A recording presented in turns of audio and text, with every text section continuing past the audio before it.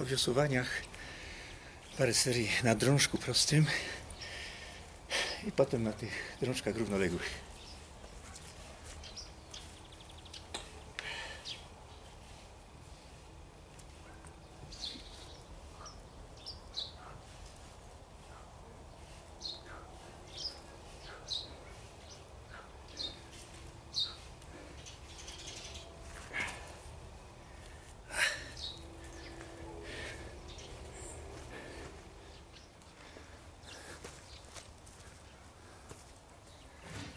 Kolejna seria.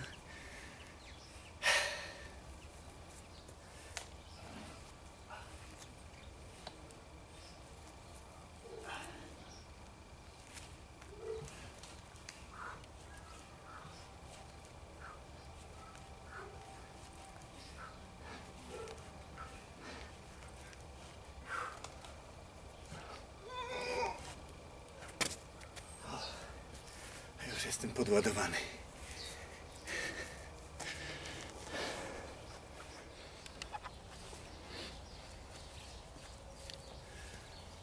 Drążek to najlepsze ćwiczenie na szerokość pleców.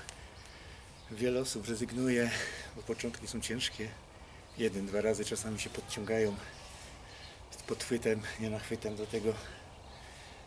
Ale po prostu jak się nie ćwiczy, to się nie zwiększy ani siła, ani masa mięśni, ani właśnie ten kształt fał.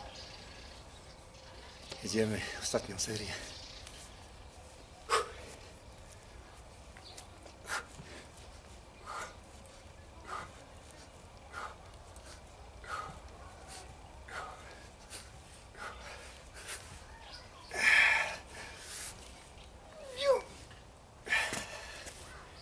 Ugh.